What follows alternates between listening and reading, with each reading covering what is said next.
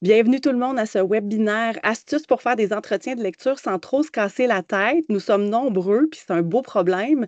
Euh, d'ailleurs, euh, je pense que ça répond à un besoin en savoir un petit peu plus sur les entretiens de lecture. Il y a ma collègue Annie Gagnon euh, qui est ici parce qu'on a eu quand même une belle réception au niveau du secondaire, puis on veut essayer de placer l'entretien de lecture, mais dans un contexte avec les grands. Donc, elle vous offre un webinaire en simultané pour le secondaire. Donc, dans le clavardage, ma collègue Corinne Gilbert, elle va vous placer le lien pour aller la rejoindre directement. Elle va le placer à différents moments aussi du webinaire pour ceux qui vont se joindre à nous pour pouvoir avoir le contexte du secondaire. Alors, très contente qu'il euh, y ait eu des, euh, réactions par rapport euh, à l'entretien de lecture. Donc, je m'appelle Catherine Lapointe, je suis conseillère pédagogique en français au primaire et on a un beau plan de match ensemble. La présentation va être enregistrée, je tiens à le dire. Donc, euh, si vous ne voulez pas que euh, votre visage apparaisse sur euh, la chaîne YouTube des services éducatifs, vous pouvez simplement fermer votre caméra.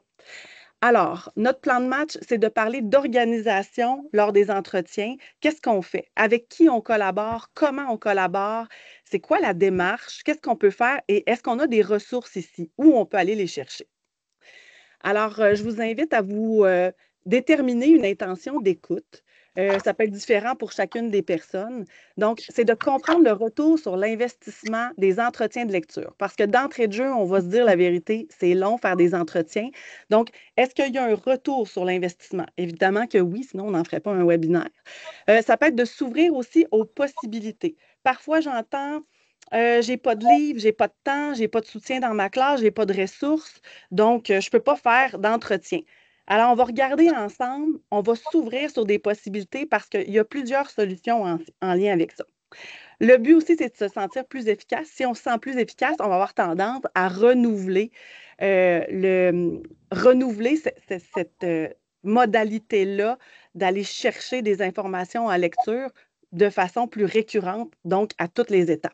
Puis pour ceux qui n'ont jamais essayé l'entretien, mais peut-être que ce sera l'occasion de vous lancer parce que vous allez vous sentir plus en confiance.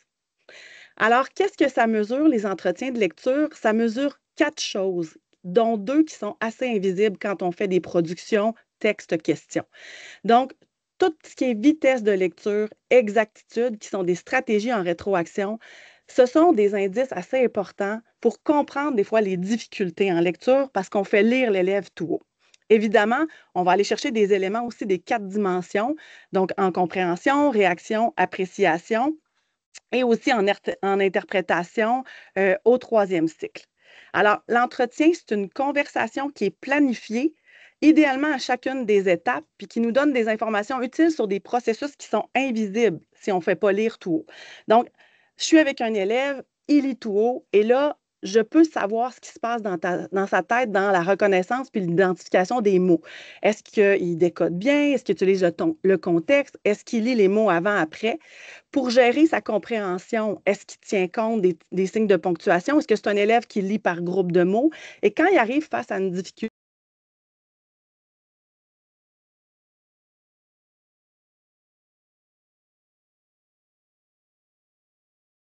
Attends un petit peu, Catherine, je vais activer ton micro parce que là, on t'entendait plus. Enfin, que je vais venir euh, réactiver ton. Je suis pas capable, donc euh, toi, active-le de ton côté. Est-ce que là, vous m'entendez? Euh, je vais reprendre la vignette peut-être, parce que je ne sais pas à quel moment vous m'entendiez plus. peut-être quand je parlais que c'était le moment de les entendre lire à haute voix pour essayer d'aller voir dans les processus invisibles, donc la reconnaissance, l'identification de mots. Est-ce que l'élève euh, prend les mots avant, après? Est-ce qu'il utilise beaucoup les illustrations? Est-ce que c'est sa stratégie euh, de prédilection? Puis pour la compréhension, est-ce qu'il lit par groupe de mots ou non? Quand il arrive face à une difficulté, est-ce qu'il est capable d'être en recherche de sens, donc de relire des mots, des phrases ou des paragraphes? Donc, évidemment, tout ça, peut être fait en aide à l'apprentissage ou en reconnaissance des compétences, mais je pense que vu que c'est un processus qui est quand même assez long, c'est important qu'on le voit peut-être dans une optique de reconnaissance des compétences, puis en se disant que, ben là, moi, là, je prends du temps avec mes élèves, ça va prendre plusieurs périodes, mais ça va me rapporter parce que ça va être mon portrait de lecteur pour l'étape. ça va me permettre de faire des rétroactions à l'élève puis une communication aux parents. Donc, ce dispositif-là permet aussi de nous ajuster comme enseignants parce que des fois, on va se rendre compte que généralement, les élèves, il y a quelque chose qu'ils n'ont pas bien compris, admettons, dans le rappel de récit. Donc, ça va nous permettre de revenir en enseignement explicite avec eux. Et ça va, ça les soutenir dans leur progression. Alors, notre fameux triangle, L'entretien de lecture, il se situe en conversation, au même titre que l'entrevue qui est un peu différente, qui est plus aller poser des questions à l'élève sur euh, ses réflexes de lecteur, ses attitudes de lecteur. Peut-être que ce sera le sujet d'un autre webinaire. L'entretien de lecture, il va venir avec d'autres traces, parce qu'on veut des traces variées. Donc, ça pourrait être euh, autant des productions texte-question. Hein, il n'est pas le temps de bannir euh, cette production-là. Elle est intéressante. Si j'ai un texte-question, que j'ai un entretien, que j'ai fait des cercles de lecteurs avec des carnets de lecteurs, j'ai vraiment un beau portrait pour mon étape. ça va me permettre vraiment de faire évoluer euh, mes élèves, puis d'avoir toutes ces traces qui sont variées, pertinentes, valides, suffisantes pour porter mon jugement global. Mais là, l'entretien, on l'a dit, puis je pense qu'on le devine, que c'est un outil qui est vraiment pertinent pour évaluer la lecture dans sa globalité, sa complexité, mais ça prend beaucoup de temps. Donc, on peut calculer entre 10 et 15 minutes par enfant. Donc, euh, si on veut toutes les voir, au moins 4-5 périodes. Donc, ça peut être un frein, mais il y a vraiment un retour sur l'investissement. C'est rentable de le faire parce que c'est un processus qui est tellement complet où on va chercher des processus invisibles qu'on n'a pas dans les autres dispositifs, que ça, ça va nous donner vraiment un portrait juste, global de l'élève. Donc, comment on s'organise quand on fait des entretiens? On va les planifier d'avance, mais il arrive qu'on a une opportunité d'aller faire un entretien, puis ce n'était pas prévu, quelqu'un nous offre de venir en classe, puis ça, je vais vous en parler, qui peut être dans la classe pendant qu'on fait des entretiens, d'avoir toujours un bac avec nos feuilles déjà photocopié l'album en question, un crayon, le minuteur. Ça aussi, je vais vous parler du minutage.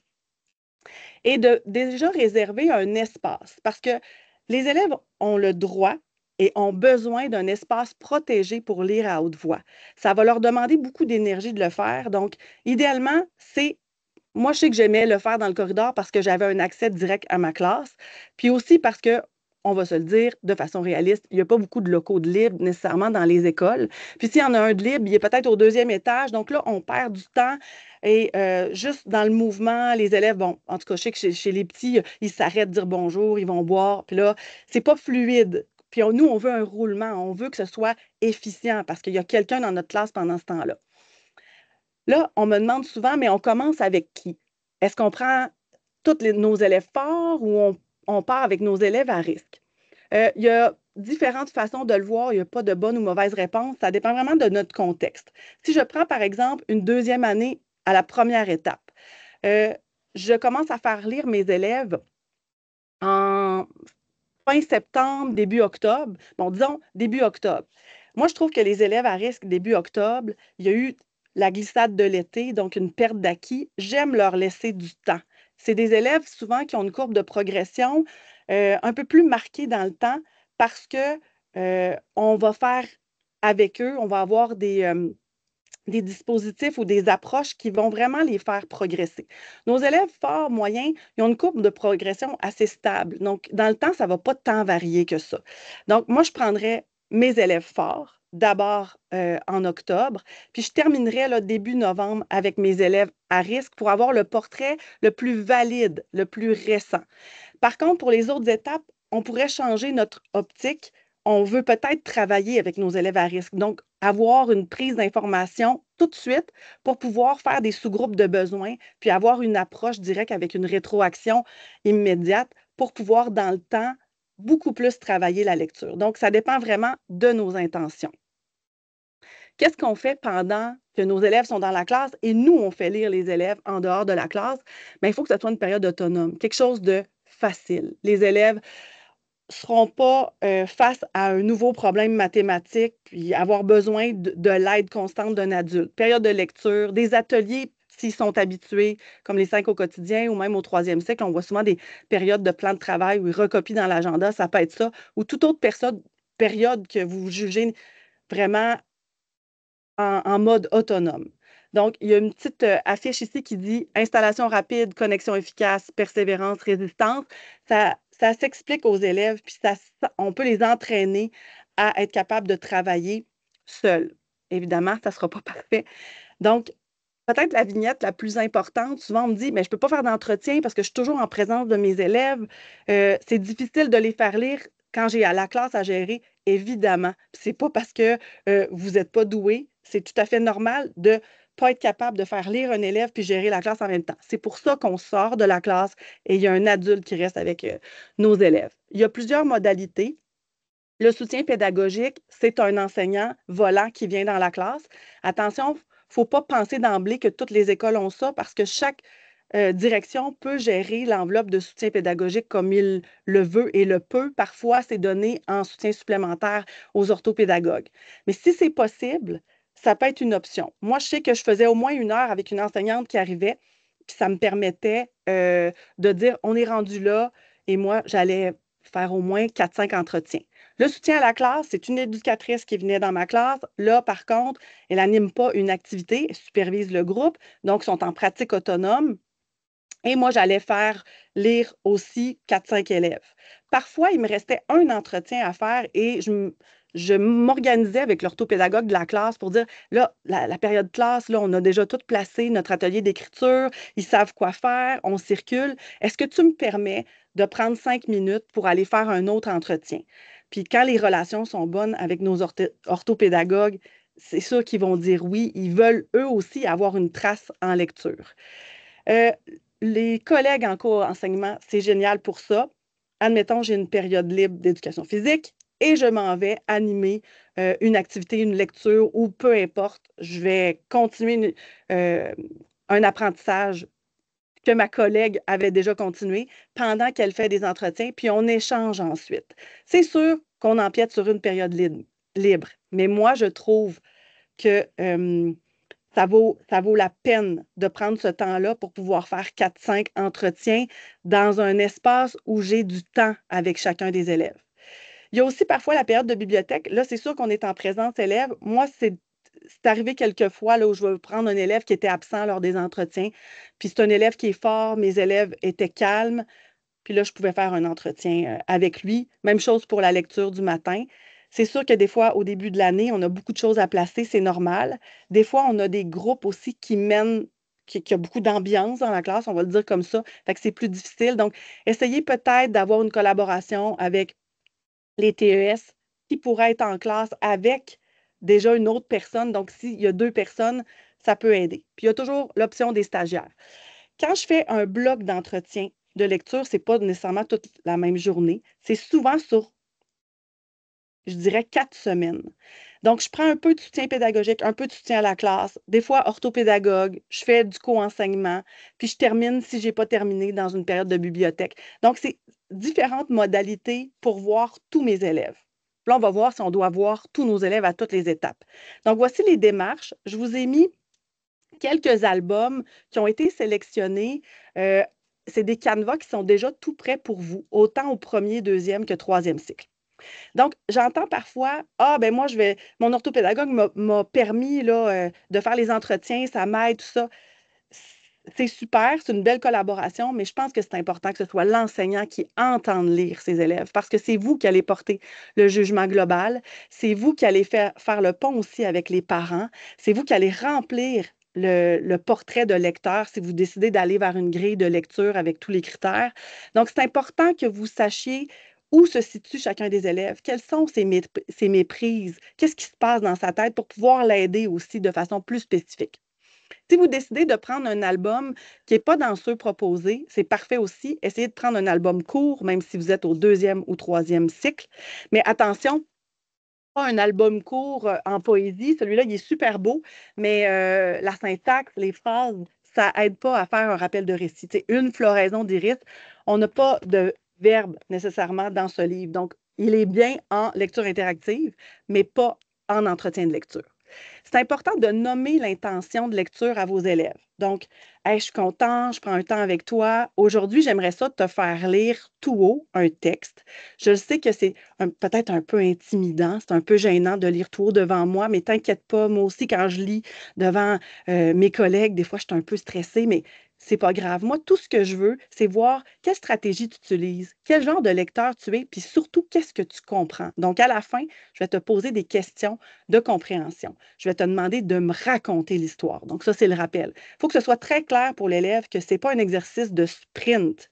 Moi, d'ailleurs, je, je, calcule la vitesse de lecture parce que je trouve que c'est un indicateur important. Je n'en tiens pas compte dans la note, mais je cache mon minuteur en dessous d'un livre ou d'une feuille. Je veux pas que les élèves sachent. Je leur dis même pas, genre, ah, oh, je te minute, mais ça comptera pas. Je ne parle même pas de minutage, mais moi, euh, c'est une donnée que j'ai quand même sur ma feuille.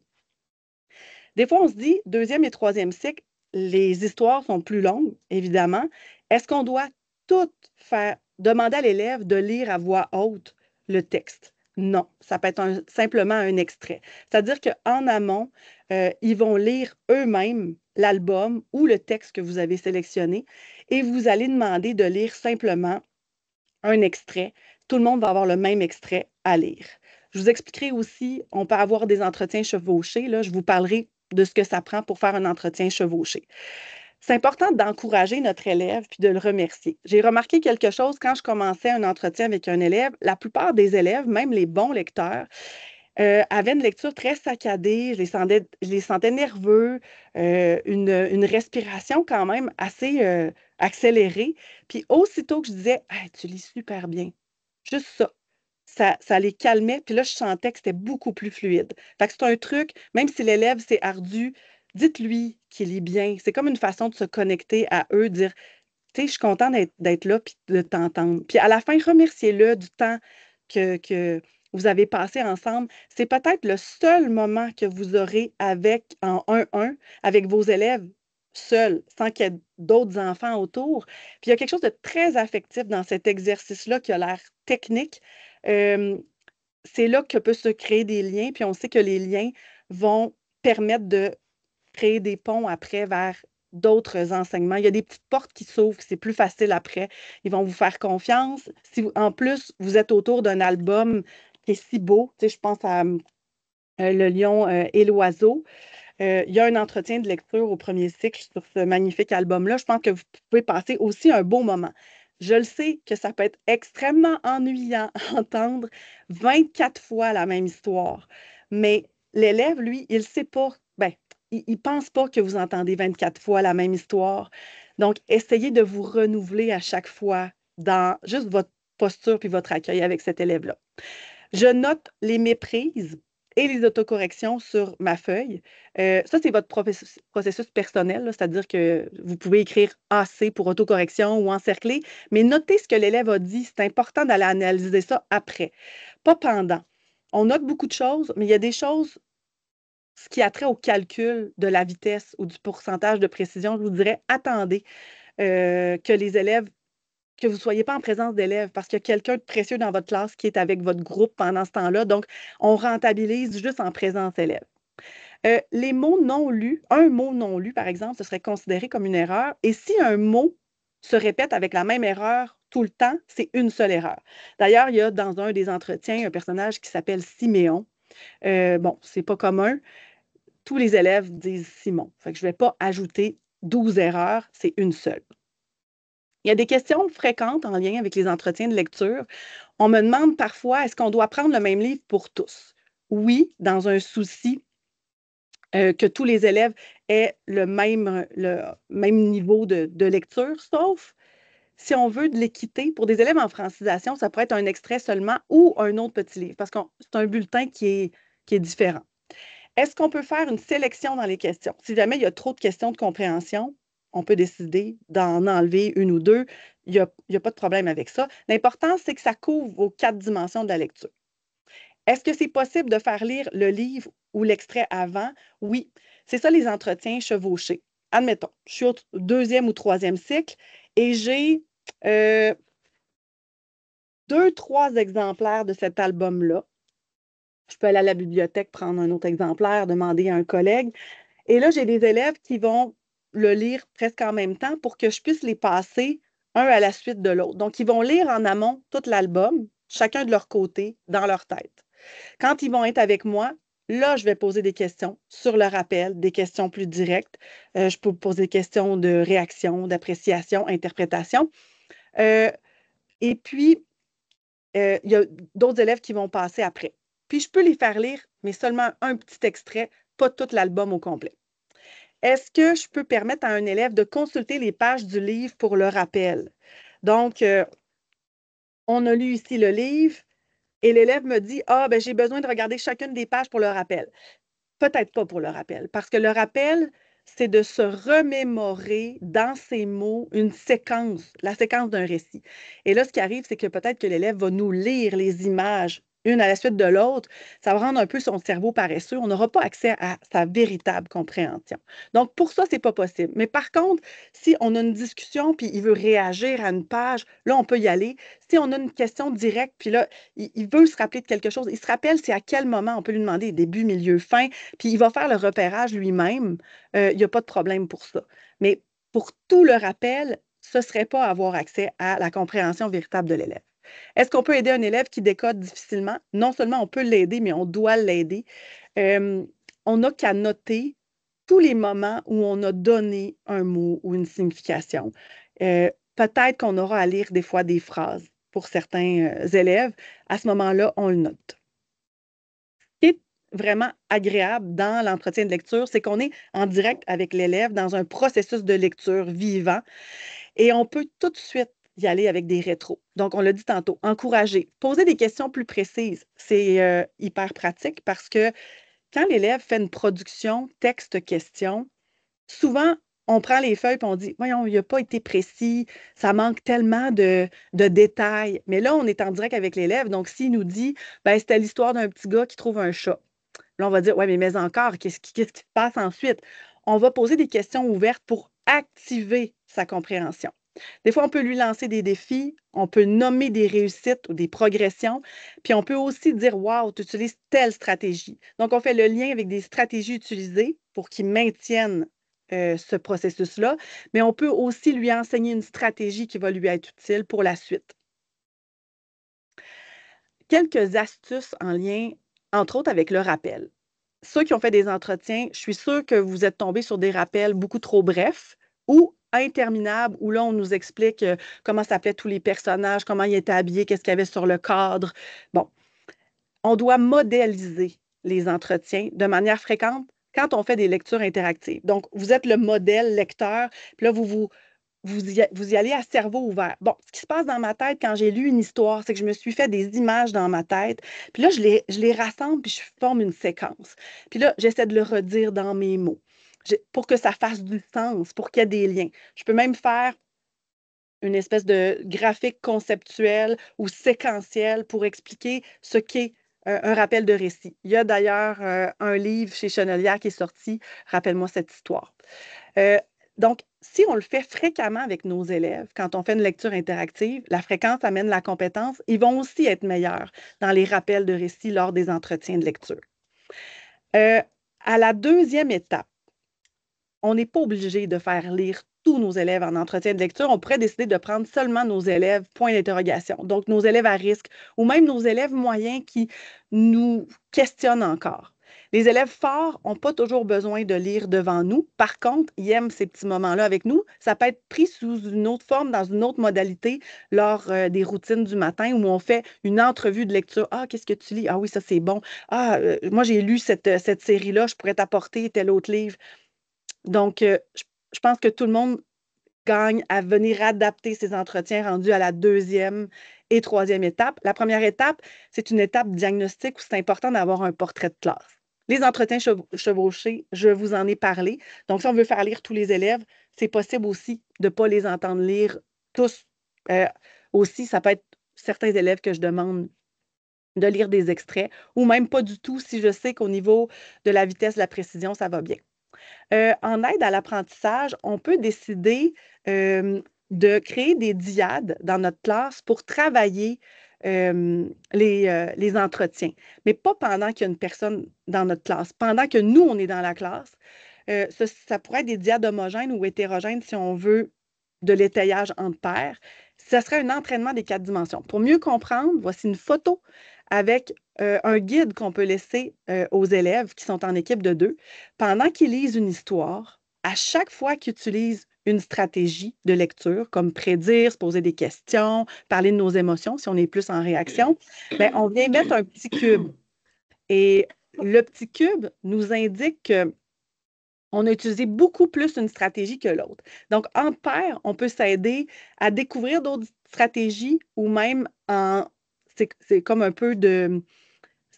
C'est de l'autoconscience avec notre père de savoir aussi euh, quel genre de stratégie je pourrais utiliser pour la suite pour mieux comprendre une histoire. Donc, c'est le potentiel euh, de ce jeu-là. Vous pouvez aussi partir au début avec simplement deux ou trois stratégies, puis venir en ajouter. Toutes les stratégies qui sont là, que vous voyez sur le petit post-it rose, ça doit être des stratégies que vous avez enseignées.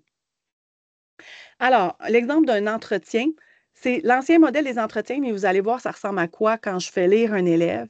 Donc, d'abord, je suis allée noter les stratégies qu'il avait utilisées le plus. Donc, c'est un élève qui a relu beaucoup de mots et de phrases. J'ai mis deux plus à côté. C'est un élève pour moi qui est en recherche de sens. J'ai même indiqué qu'il avait mis ses lunettes parce que vous allez voir, vous allez faire lire des élèves, des élèves qui, qui sautent des lignes. C'est un indicateur peut-être d'aller faire vérifier d'abord euh, au niveau de la vue s'il n'y aurait pas quelque chose. Euh, j'ai noté aussi les mots qui ont été mal écrits. Je remarque que lors de cet entretien-là, il y a eu beaucoup d'inversions, donc des petites conduites dyslexiques. Donc, ça me permet de, faire le lien aussi avec l'orthopédagogue, de lui montrer, de dire, regarde, c'est ça, est-ce que je dois m'inquiéter ou pas? Euh, le 5 minutes 42, c'est juste un dépistage pour moi pour la vitesse. Ensuite, il y a eu le rappel de récit. On voit que je l'ai aidé pour l'inférence. Ça n'a pas impacté euh, la note. Puis à la fin, je me suis permis de poser des questions. Qu'est-ce que tu aimes lire ces temps-ci? Donc, on ne tient pas compte du décodage dans la note au bulletin. c'est pour ça que le nouveau modèle, c'est plus une petite bande ABCD. une, alors, je l'ai ici sur cette euh, vignette-là. C'est un peu le même principe où on observe des stratégies en rétroaction. Euh, pendant la lecture, on pose des questions. On veut savoir si pendant le rappel, il démontre sa compréhension. Lors aussi de, questions plus dirigées, est-ce qu'il réagit? Puis on peut porter notre jugement. Donc, il y a des petites notes de soutien possibles que j'aime bien euh, pour les élèves en francisation, pour les élèves qui ont plus de difficultés à comprendre, on peut venir les aider d'une certaine manière, des fois, en leur demandant de faire un rappel de récit au milieu du livre pour pas qu'ils oublient, parce que parfois, il y a ces, euh, ces stratégies-là qui ne sont pas encore bien intégrées, bien transférées. Les élèves qui sont plus faibles décodeurs, euh, oui, des fois, on peut lire une page et en lire une. Je parle au, premier cycle, surtout, on va avoir peut-être besoin d'aider quelques élèves. Puis on le note à ce moment-là. Euh, l'exemple d'un entretien au troisième cycle, avec ce superbe album ici. C'est le même principe. On analyse le rappel de récit, on a des questions de compréhension, de réaction, puis on a une section sur les mots nouveaux et les expressions. Est-ce que l'élève est capable de déduire grâce au contexte? Et on a l'appréciation générale. Euh, il y a d'autres types de canevas qui sont euh, disponibles sur, euh, sur nos ressources du centre de service. Je vais vous montrer où elles sont. dans ce canevas-là, vous pouvez décider de débuter tout de suite au rappel. Vous n'êtes pas obligé de demander avant le survol, la prédiction, l'intention. Prenez ce que vous avez besoin dans ce canevas-là. Il y a aussi un autre canevas qui existe sur le site de, J'enseigne avec la littérature jeunesse. Vous allez voir, par contre, des petits numéros 3.3, 4.4. C'est le continuum en lecture, puis on ne s'en sert pas, nous, ici, euh, au, euh, au, centre de service. Donc, ce n'est pas un pointage. Là. Donc, peut-être que vous auriez à adapter euh, ce canevas-là si vous décidez de le prendre, mais il y a quand même des sections qui sont réservées pour les stratégies et les attitudes. Un exemple ici d'un entretien avec le merveilleux album Azada de Jacques Gaustin, qui est vraiment en tout cas un auteur que j'aime beaucoup. Je trouve que c'est un génie de la littérature jeunesse. Avec euh, le troisième cycle, c'est parfait. Il y a beaucoup d'inférences dans cet album. Il est court, puis ça couvre les quatre dimensions de la lecture. Donc, c'est un bon album pour euh, faire des entretiens. Les ressources au premier, cycle se trouvent dans l'intranet, ressources pédagogiques, français, le drive première fois au premier cycle, et c'est euh, un dossier qui s'appelle entretien de lecture. Dans ce dossier-là, vous avez tous les entretiens pour toutes les étapes et vous avez aussi un guide d'entretien. Pour le deuxième et troisième cycle, les ressources se trouvent sur le Teams. Vous avez un dossier pour entretien deuxième cycle et un autre pour le troisième cycle, et ce pour trois étapes. Il y a aussi un document d'accompagnement pour les plus vieux. Alors, si on résume, les entretiens, ça permet d'évaluer les quatre dimensions de la lecture. Ça permet de dépister à la source les difficultés, ce que je ne peux pas faire avec euh, une production papier-crayon. Euh, aussi, ça enlève le filtre de tous les autres difficultés des élèves. Une difficulté motrice qui fait que l'élève va y aller vraiment au strict minimum quand il va répondre à une question de compréhension ou de réaction, ou même les élèves qui ont des enjeux au niveau de l'organisation et de l'attention, le repérage, c'est difficile. Quand on fait l'entretien, on peut vraiment aller à la source de la compréhension. Alors, euh, ce qui n'est pas toujours possible avec la production, mais quand on, on mixte, on, on ajoute aussi les productions et les conversations, on a un portrait plus juste. Donc, les entretiens, ça permet aussi de moduler notre enseignement de la lecture, de choisir tous les dispositifs qu'on va avoir besoin pour faire progresser nos élèves. Peut-être qu'on va se rendre compte que, bon, on a besoin de faire plus de lectures partagées, des lectures à voix haute pour la fluidité ou euh, des lectures euh, à l'unisson. Peut-être qu'on va avoir besoin de lectures guidées, euh, de lectures en duo. Moi, ce que j'aime bien, c'est les cercles de lecture et le journal de lecture, le carnet de lecteur, si vous voulez. Peut-être qu'on aura un autre webinaire sur ce sujet, mais c'est exponentiel ce qu'on peut faire avec ça, surtout pour travailler l'appétence, donc l'appétit en lecture qui va avoir un impact sur la mécanique de la lecture. Parce que la lecture, c'est un acte de construction de sens, c'est comprendre, interpréter, utiliser les, textes dans la vraie vie, avoir le goût d'y réagir de manière instinctive, personnelle, comme quand on lit un, bon roman, on va en parler euh, à nos amis. Donc, pourquoi je parle de l'appétence? C'est parce que ça a un effet. Il y a un effet domino de la lecture. Ça a été euh, vraiment documenté par Réseau euh, Réussite Montréal, c'est que plus j'ai un intérêt pour la lecture, plus je vais développer des habiletés de lecture, plus je vais augmenter mon aisance à lire, donc plus je vais lire de façon plus fréquente. Puis là, je vais améliorer mes compétences, puis je vais augmenter mes notes et je vais avoir un intérêt pour la lecture. Donc, vous voyez ce cercle-là qui a été présenté par euh, euh, Alexandre Flambert qui démocratise la lecture auprès de ses élèves, même au secondaire. Donc, euh, je vous montre en rafale d'autres entretiens qui sont disponibles sur le site de J'enseigne avec la littérature jeunesse. Je sais que j'ai dépassé deux minutes. vous avez Georges Géant, qui est une planification d'un entretien euh, qui est déjà tout prêt pour vous. Pour troisième et quatrième année, vous avez aussi des entretiens euh, déjà tout préparés. Le petit guili est souvent utilisé en troisième année des fois, j'entends Ah, cinq, sixième année, on n'en a pas d'entretien. Vous en avez qui sont déposés sur le dossier euh, du centre de service, mais vous en avez trois, plus trois sur le site J'enseigne avec la littérature jeunesse, donc vous en avez six. Euh, dans la collection euh, Motifs chez Druide, dont l'album Millie Rose. Vous pouvez vous y fier à cette collection-là. Il y a beaucoup d'inférences, c'est des albums résistants. On peut faire plusieurs lectures pour pouvoir aller chercher toutes les dimensions euh, de la lecture. Donc, un exemple aussi d'un album résistant au pays de mon ballon rouge pour 5 et 6e année. Si jamais vous voulez créer vos propres entretiens, euh, ma collègue Marie-Michel a un super document qui est euh, enseigné avec la littérature jeunesse. C'est neuf pages. Vous pouvez avoir accès avec le code QR et elle donne des suggestions d'albums, autant pour le premier, deuxième ou troisième cycle. Vous avez 300 dollars à chaque année. Ça va être reconduit, reconduit pendant cinq ans. C'est une mesure sur cinq ans pour enrichir les bibliothèques de classe. Donc, peut-être vous pouvez l'avoir en tête pour faire vos entretiens. Ce n'est pas nécessaire d'avoir 24 livres pareils pour faire un entretien, un seul, sauf si vous voulez faire des entretiens chevauchés, ça en prendrait deux, trois. Alors, bientôt, on déposera tout ça sur notre nouveau site de français euh, qui est présentement en construction, mais on, vous le dira quand ce sera prêt et vous aurez accès à euh, tous ces entretiens-là au même endroit. Alors, je me permets d'enlever, ben, en fait, d'arrêter l'enregistrement. J'espère que ça a répondu à vos questions, que vous vous sentez plus en confiance pour euh, entamer des entretiens de lecture. Sachez que nous, les conseillers pédagogiques, on est là aussi pour vous soutenir.